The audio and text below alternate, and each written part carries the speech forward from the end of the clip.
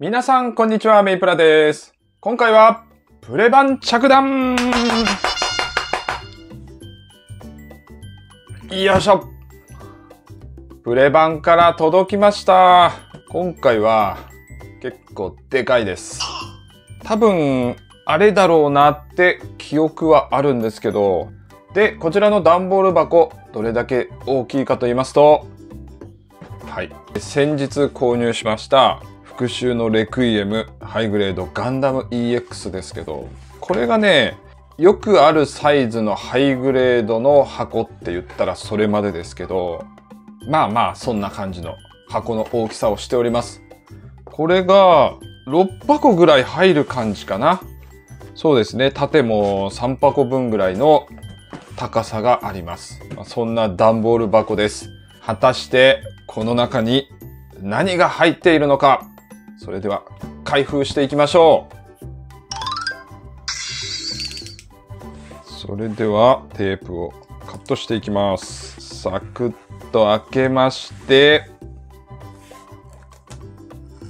はい、OK。それでは中身見ていきましょう。果たして過去のメイプラ何を頼んだのか。オープンおー、じらしますね。ん？これが入っているってことは、中身は割とスカスカだったかな？ちなみになんですけど、プレ版を頼んだことがある方、お分かりの通り、発送されるときはメールが届きます。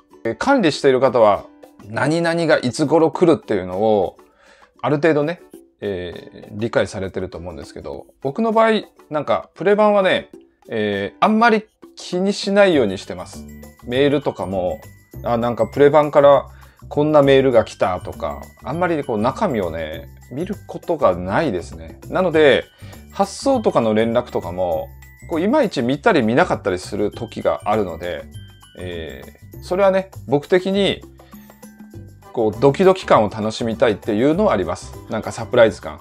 なので、忘れた頃にやってくるっていうのはね、僕にとってはすごくありがたいことなので、えーそんな感じで、プレ版はね、いつも楽しみにしてます。はい、それでは、見ていきましょうか。あ、こんな感じか。えー、箱が裏返ってますね。あ、ということはこれは、はい、出しても大丈夫と。じゃあ、これから行きましょうか。はい。まず、1キット、あ、あ、じゃあちょっと、この下は隠しましょう。まず1キット目。1キット目は、こちらはい来ました水星の魔女、バナディースハートより、ハイグレード、ベギルベウトルシュですベギルベウの別バージョンみたいなやつですね。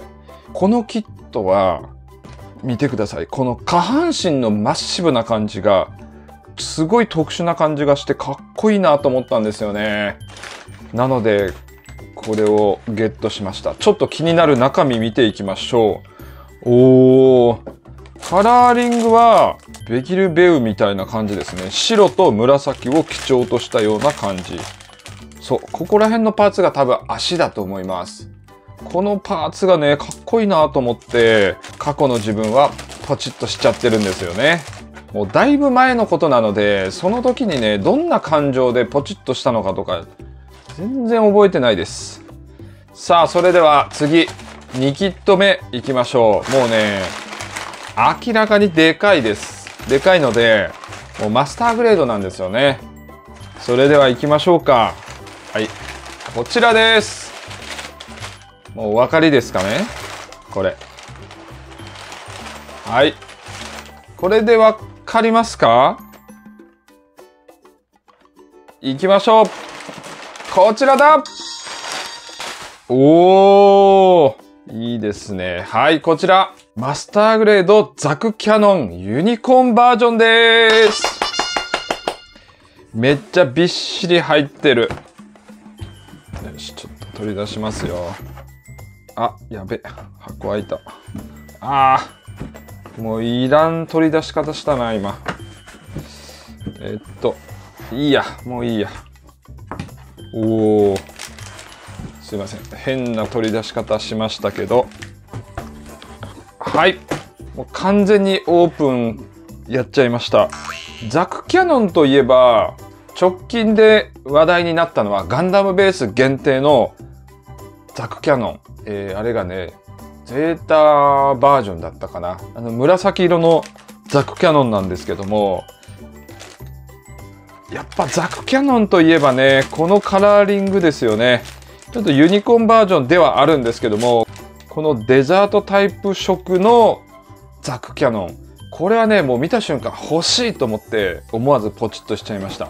なので、さっきのベギルベウトルシュは、あれこれはどんな感情でポチッとしたのかなとか思ってたんですけど、こちらに関してはね、えー、完全にデザートタイプ色のザクキャノンが欲しいと思って、ポチポチやってましたんで、えー、すごく覚えてますよ。ということで、今回はプレ版からこちらの2キット、ハイグレードベキルベウトルシュとマスターグレードザクキャノンユニコーンバージョンが届きました。えー、どちらもね、作るの楽しみです。あ、そうだ思い出しました。こちら、ベギルベウトルシュに関しては、ミキシング面白そうだなと思ったんですよね。ちょっとできるかできないかってとかは置いといてなんですけど、サクッと作ってね、自分なりにね、いろいろアレンジして楽しみたいなと思って、ポチッとしたキットでした。そう、そうです、そうです。多分ね、この2つに関しては制作動画は上げないと思うんで、えー、個人的に作って、えー、できましたよ報告はね、巡回のエンディングとかにこれ作りましたと、えー、報告したいと思います。ではまた Have a nice メイプラ。結構買っちゃってるなぁ。